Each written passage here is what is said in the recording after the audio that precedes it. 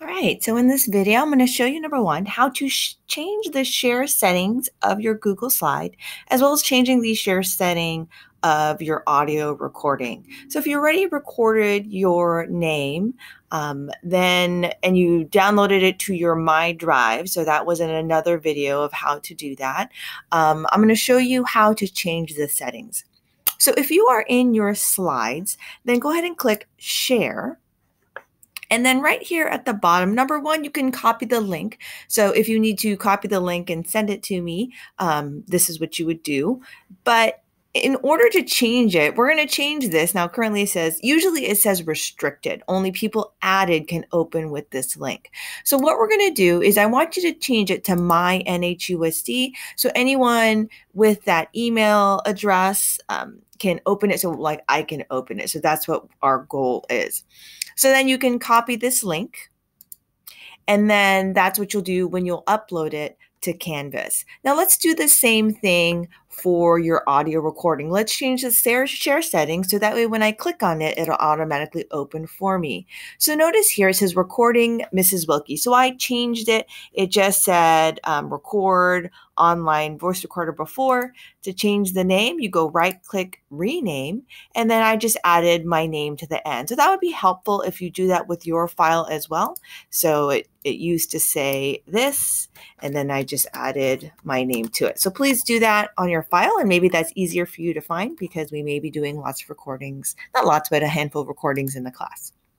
So now let's change the share settings. So if you right click on this file, click on the person with the plus, so that is share.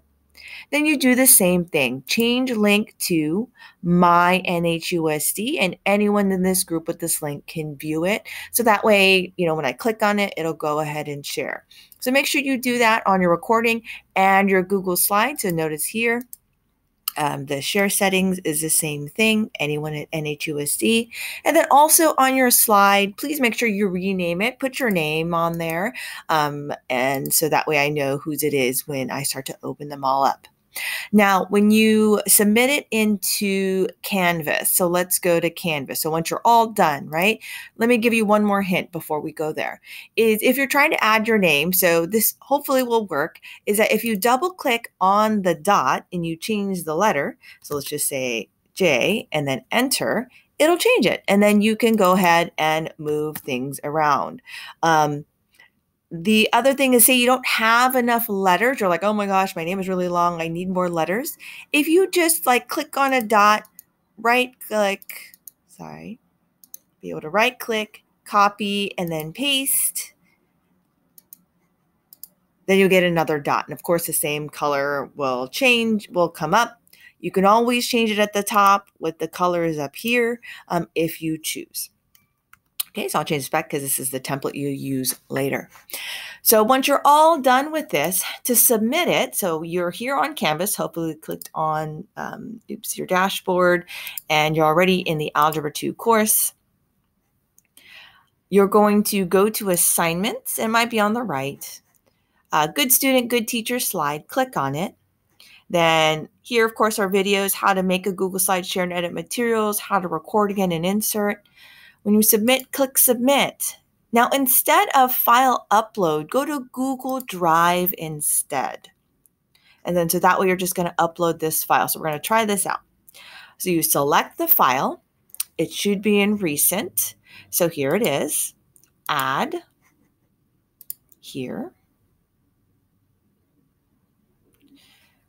And then it'll come up. Another thing I want you to do is go ahead and if you can, copy and paste the link to there just in case it doesn't work. So again, you go back to here, share, copy link, go back to here and go control V and that'll paste it. Okay, just in case I can't access it. Then you can click on submit assignment. Okay, so we'll try doing a Google Drive instead of um, a PDF for this one, so that way I can click on the name on your um, audio. Um, and the other one, when it was a PDF, sometimes it, it would let me click on it and sometimes not. So let's try this instead. I hope this helps you out.